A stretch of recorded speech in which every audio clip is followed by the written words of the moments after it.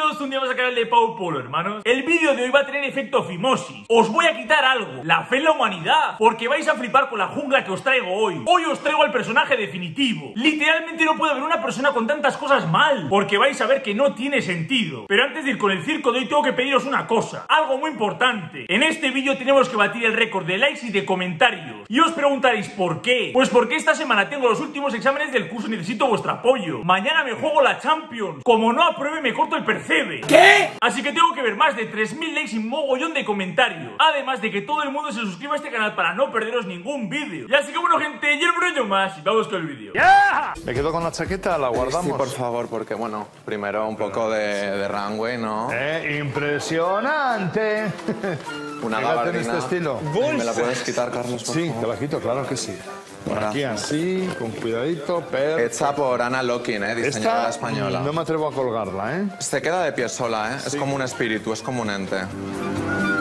Ahora no. Pues no, no, no es como un espíritu, ¿eh? A mí me estáis jodiendo. Primer fan de las bolsas de la compra. Este tío en vez de hacerse la ruta del bacalao se hace la ruta del supermercado. En vez de comprar macarrones te va a comprar la bolsa. Eso sí, bolsa fachera. Ropa perfecta para ir a una boda. La boda de los teletubbies. Porque yo voy así a la boda de mi hermana y mi madre me caga a palos. Pero me han flipado esos pantalones naranjas rollo Guantánamo. Se pilla una chaqueta naranja y ya tiene disfraz para carnaval. Aunque tengo que daros una mala noticia. Hoy va a haber mucha zona babuina. Así que adentrémonos en el reino marsupial. Y a mí me gusta que me hagan masajes. Eso sí, eso lo ¿Se puedo. te, se lo te dan bien los masajes? Sí. sí. Pero con final feliz hombre, o- claro. Eh, ya, ya, pero Es que las cosas ya, se hacen bien, ¿verdad? caen por su, Por su peso. propio peso. Esa- Ya que estás en la faena. Mira qué me haces decir. Gaby tiene un punto, un punto que le veo así, punto morboso que me gusta. Según este compañero, si te hacen un masaje tiene que haber final feliz. Si no, no vale. ¿Tienes el cuello que parece Robocop? Da igual. Baja o no hay jaja. ¿Os imagináis a este tío en el fisio? Ahí le acaban de dar el masaje y este tío dice, oye, ¿y el final feliz? ¿Qué ha pasado aquí? Fijo que si hay algún fisio viendo este vídeo, seguro que alguna vez le ha pasado algo parecido. Si te ha pasado, pónmelo en comentarios. Literalmente este compañero es el doctor Bala. A la que puede te mete la pala. Me pongo casondo hasta con los maniquíes del sino. Sí, yo también tengo esto para tal manos y esas cosas. en fin. Pero, ¿te gustan mm, juegos más duros? Mm, sí. ¿Como cuáles? El tema columpios, por ejemplo, roles. El tema sexual yo no me corto de nada. O sea, no, no me gusta.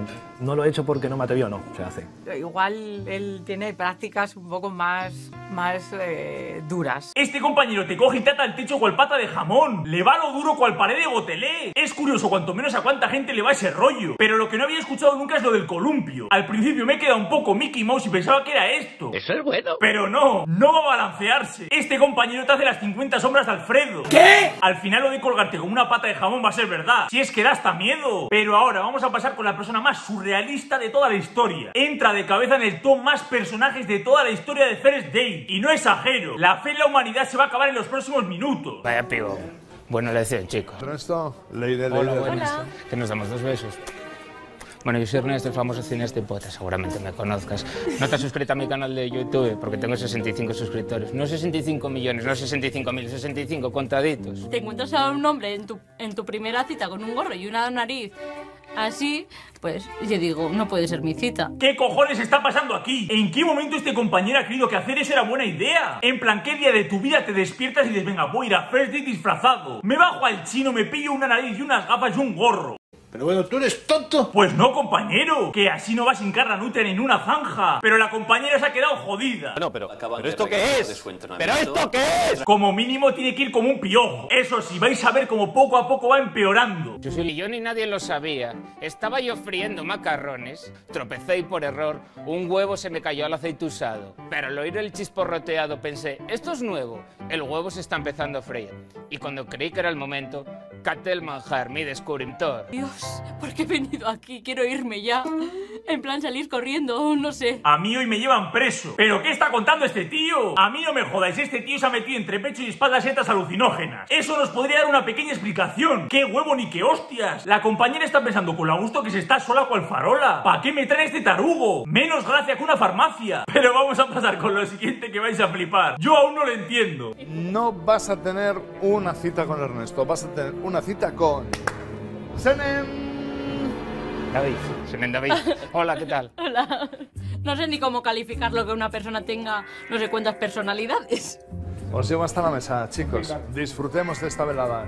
¿Sois tan amables de sentarlas en la mesa 2? ¿Tanta gilipollez para eso? ¡No puede ser! Pero señor, ¿qué está haciendo con su vida? ¡Hostia, tío! Y pensar que yo me sentía ridículo cuando era pequeño y le decía a la profesora mamá. ¡Esto es peor! Pero lo que me preocupa de verdad es que este hombre quería que iba a salir bien. Plan infalible. Si sale bien, meto el dirigible.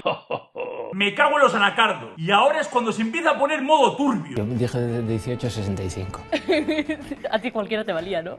Leire está muy buena, rubia, eh, buen cuerpo. Por ahí. Sí. Aunque parezca esto sí. Por ser así alto, tal, sí. Conservar el pelo todavía, sí. Nunca me he enamorado, o sea, lo que es el amor. No, no lo conoces.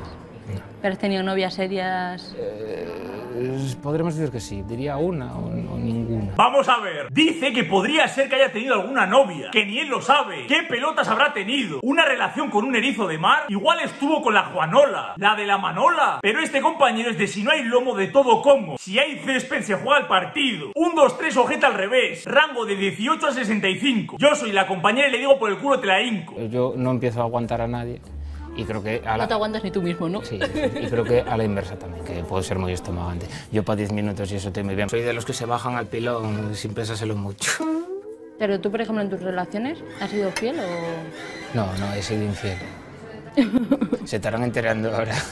Claro que soy infiel, ama, pero bueno, creo que eso a muchas mujeres les mola y tal, ¿eh? Dice, este es un, un picaflor, este es un, un buen machote. ¿Cómo? La madre que lo parió. En plan, a las mujeres os gusta que os sean infiel. Veis a un tío casi de infiel y decís, joder, me lo quiero jalar. Contenedor y cuchillo. Usáis hasta el columpio del tío ese de antes. ¿Qué demonios tiene este tío en el cerebro? Materia gris o dulce de leche. Pero por si acaso hago llamamiento a las mujeres de este vídeo. Ponedme en comentarios si os gustan los tíos que son infieles. Tíos que sean más guarros que un kebab. De verdad que este señor no tiene nada bueno. Solo falta que diga que le gusta madrugar.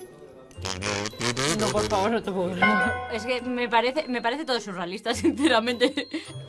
Yo aparte de Ernesto, es que yo soy clown, mi pasión es ser clown. Llevas ahí todo preparado, ¿no? Me define como una persona que va con una nariz de payaso en el bolso. Y tú te lo pasarás muy bien, pero visto desde fuera, Visto desde fuera es muy extraño. Ya vámonos, por favor. Si llevas en la chaqueta una nariz de payaso y una trompeta pequeña, estás jodido. Aunque bueno, que cada uno haga lo que quiera. Pero eso sí, si luego te apareas menos que una piedra, no es mi culpa. Aunque bueno, seguro que en otra parte del mundo hay una señora como este señor. Su media naranja, su media nalga. Poca gente así he visto en mi vida. Ya os he dicho que este compañero iba a entrar en el top 3 personajes de First Day. Un día tengo que hacer un vídeo recopilatorio de los más personajes de toda la historia. Ponedme en comentarios si os molaría la idea. Sí, eso, cuéntame, ¿qué te gusta hacer? El amor. A mí eso también. Yo le doy mucha importancia. Porque soy muy bueno en la cama, la verdad. Garantía de orgasmo. Está tremenda, la verdad. Pero- ¿Y a ti?